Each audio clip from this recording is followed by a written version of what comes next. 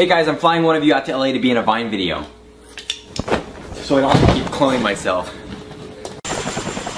I'm here in beautiful Dubai.